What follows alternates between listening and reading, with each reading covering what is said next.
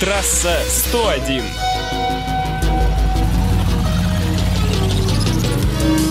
Приветствую, в эфире трасса 101. Владимир Сметанин. Водительский стаж 12 лет. Не нарушает. Почти. С 1 сентября этого года для того, чтобы забрать перемещенный на штрафстоянку за парковку в неположенном месте автомобиль, оплачивать штраф и услуги эвакуатора не придется. Соответствующие поправки накануне подписал президент Путин.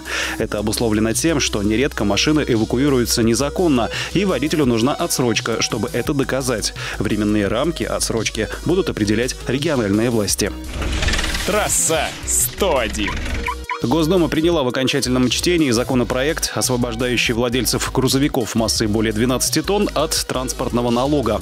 Платить его не придется, если сумма взносов в рамках системы Платон превысит сумму налога. Если нет, необходимо будет вносить разницу. Такой порядок будет действовать до 2019 года. Далее власти проведут анализ и решат, продлить действие закона или начать рассчитывать налог для большегрузов иначе. Руководитель российской ГИБДД Виктор Нилов сообщил, что в скором времени у нас могут появиться аукционы по продаже автомобильных номеров с красивым сочетанием букв и цифр. По его словам, соответствующий законопроект Госдума, несмотря на множество замечаний, одобрила в первом чтении. К дальнейшему обсуждению вопроса депутаты могут вернуться осенью.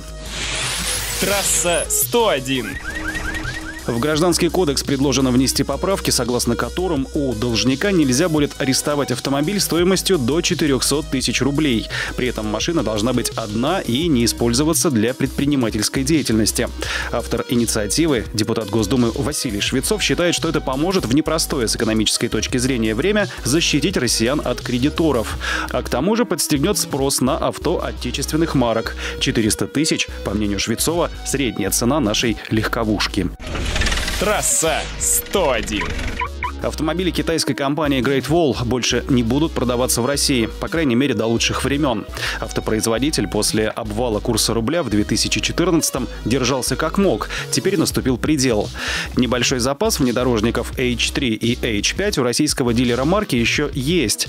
Первый стоит почти от 1 миллиона рублей, второй минимум миллион двадцать тысяч. На этом все. Вопросы и комментарии оставляйте на сайте Хакирова и в группе программы ВКонтакте. До свидания.